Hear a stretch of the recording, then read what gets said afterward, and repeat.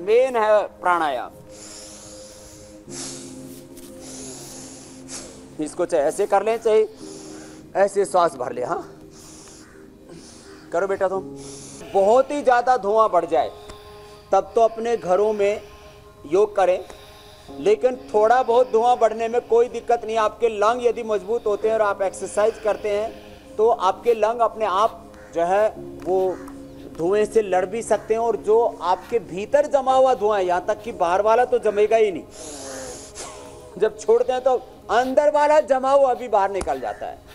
और जो प्रश्न था कि अंदर लंग के अंदर क्लोट्स हो जाते हैं लम्प्स हो जाते हैं, जो है गांठें हो जाती हैं, उसके लिए यह है कि भस्त्रिका कपालभाति और अनुलोम विलोम भी करो बेटा।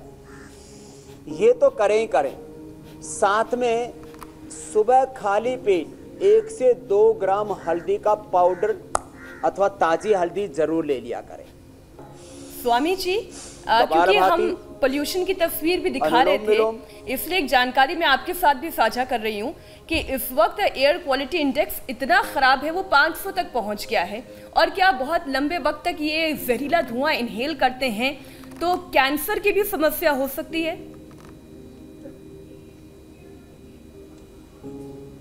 ये मैं पहले ही बता चुका हूँ कि इससे हार्ट की प्रॉब्लम स्किन की प्रॉब्लम लंग की प्रॉब्लम रेस्पिरेटरी सिस्टम के प्रॉब्लम्स के साथ कैंसर और टीबी वालों के लिए तो ये जहर का काम करता है पोल्यूशन। जो आप पोल्यूशन इंडेक्स की बात कर रहे हैं। तो कैंसर वालों को भी मैं तो कहता हूँ एक एक घंटा उनको ये अनुलोम विलोम करना चाहिए। जब ज़्यादा पोल्यूशन बढ़ जाता है तब बाहर ना करें।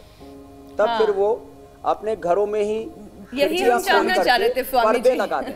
स्वामी तो जी यही आपसे हम जानना भी चाह रहे थे कि बाहर अगर आबो हवा ऐसी हो चुकी है एयर क्वालिटी इंडेक्स जो कि ऊपर 300 से शुरुआत हुई थी तो- 500 को पार कर चुका है तो क्या बाहर बैठ के ही योगा किया जा सकता है या इंडोर भी ठीक रहेगा? इसलिए मैंने बोला खिड़कियाँ खोल दें पर्दे लगा दें।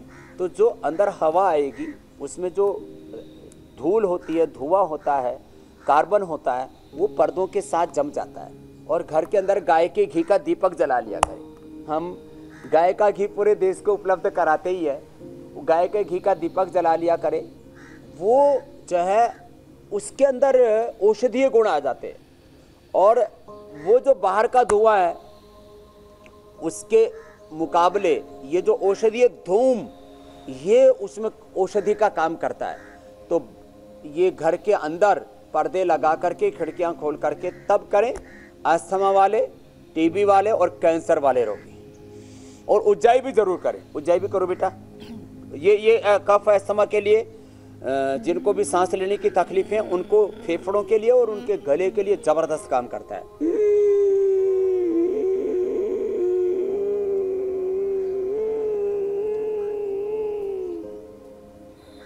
और रोक करके रखें आधा से एक मिनट तक। इससे लंग की पावर बढ़ती है।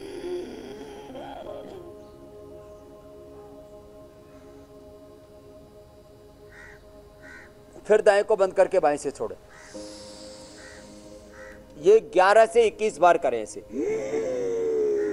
पूरा भरा रोक करके रखा और आधा से एक मिनट रोकने के बाद दाएँ को बंद करके स्वामी जी पोल्यूशन की वजह से जिनका गला खराब हो रहा है ये उसमें भी फ़ायदा होगा? और जिनकी आँखों में जलन हो रही है, उनके लिए क्या सलाह है? ज़बरदस्त उसमें।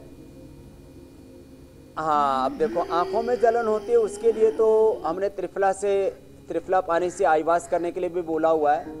दृष्टि या सोम में आई ड्रॉप भी डालने के लिए बोला हुआ है। घर में भी एक चम्मच सफ़ेद प्याज का रस, एक चम्मच अदरक का रस, एक चम्मच जो है नींबू का रस और तीन चम्मच शहद उसमें मिला दें और ये एक एक बूंद आँख में डालें। सुबह सूर्य का त्राटक भी करो और जलनीति करे तो ज़बरदस्त फ़ायदा होता है। आँखों की कोई प्रॉब्लम रहेगी ही नहीं। हाँ पानी ज़रूर तीन लीटर ज़रूर पिए। जिनको कफ, अस्थमा, कोल्ड अर्थराइटिस है ओबिसिटी है कॉन्स्टिपेशन है, उनको गर्म पानी ही पीना चाहिए। तो ये आँखों के लिए मैंने बता दिया। हाँ एक बात और बता देता हूँ। जिनका भी पेट खराब रहता है, उनको भी ये प्रॉब्लम बढ़ती है। इसलिए पेट ठीक करना भी ज़रूरी है। उसके लिए रात को त्रिफला चूर्ण ले ले और सर्दियों के अंदर लौकी का जूस न पिए। लौकी का जूस हम हर बार बताते हैं, लेकिन आज मैं बता रहा हूँ, लौकी का जूस ना पिए आस्थमा वाले। वो लौकी का सूप पिए। इसलिए लौकी का सूप हम ने बताया है, ये लौकी कल्प जो है अस्थमा वालों के लिए, हार्ट वालों के लिए आर्थराइटिस वालों के लिए, यूरिक एसिड भी कम हो जाएगा, लेकिन सूप बना के पीना। सर्दियों में इसका जूस पीने से किसी किसी को फिर ठंडक होती है ना तो उससे कब बढ़ जाता है और दर्द बढ़ जाता है। तो ये थोड़ी सावधानी भी रखें। कोई बात ये नहीं। योग अभ्यास इसी तरह से जारी किए हुए हैं और इस बीच बहुत ज़रूरी है कि अगर सही ढंग से योग का अभ्यास किया जाए तो चाहे मौसम में बदलाव हो या बाहर के वातावरण की वजह से अगर आपको दिक्कत हो तो योग अभ्यास के ज़रिए ये इलाज संभव है।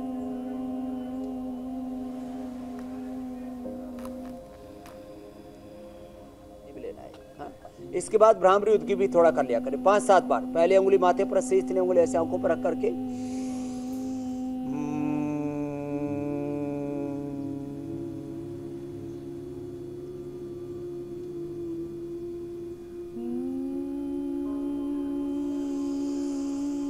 ऐसे तीन से पाँच बार आप भ्रामरी और तीन से पाँच बार उदगीत।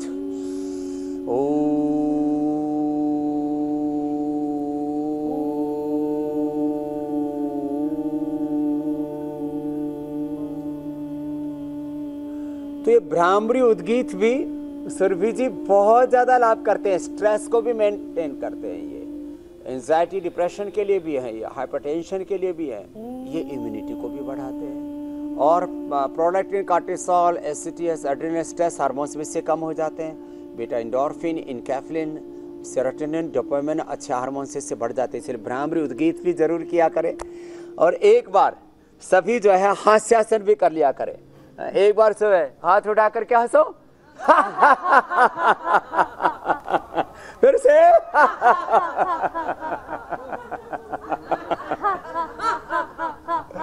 तो ऐसे हमारे यहाँ पर देखो ये बुज़ुर्ग से हैं। कितनी उम्र होगी दादाजी? Fifty nine. अब इनका दम उखड़े जा रहा था अब दम में दम आ गया है। और आपकी कितनी उम्र है? Fifty five. ये पचपन पचपन साल में अब इनका जो सांस उखड़ रहा था, दम उखड़ रहा था, और ये तो 58 है। इधर ये हमारी शिकारा बहन बैठी, आशा। इसने तो अपना सोराइसिस भी ठीक किया, हाथ, पैर फट जाते थे पूरा वो भी ठीक कर लिया, और अस्थमा था, वो ठीक करके बैठी है। पहले तो नीचे भी नहीं बैठ पाती थी, अब तो नीचे भी बैठ लेती है। हाँ?